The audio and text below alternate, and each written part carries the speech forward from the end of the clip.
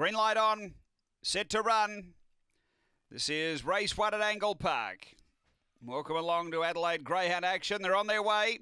And Speed Couture down near the inside, headed off by Chimera Manelli. So the fave runs to the lead early. Chimera Manelli clear out of the straight. Uh, second early is uh, moving to second. Forte Nero, and they've dropped off the others, Couture and also Line Seeker. They go to the back, and the leader, Chimera Manelli, out by two to Day Nero, about six or seven away, Line Seeker. Uh, then Couture off the back, leader Chimera Manelli, bit over a length. Forte Nero trying to knuckle down after it. It's coming. Four or five away, Line Seeker, straightening. Forte Nero moves to Chimera. Chimera Manelli. Forte Nero has beaten Chimera Manelli. What about the runner Line Seeker out of the ground late in the third, beaten a bit over a length in the end, and Couture was last of the quartet.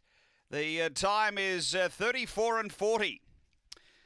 After the running of race number one, and uh, numbers here, it is 6, 2, 4, and 1. Number six, Forte Nero. Uh, Lisa Rasmussen came with a uh, really strong finish Got over the top of Shamira Manelli.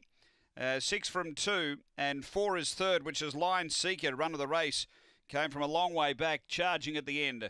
Uh, so it's 6 2 4 1 after race number one here at Angle Park.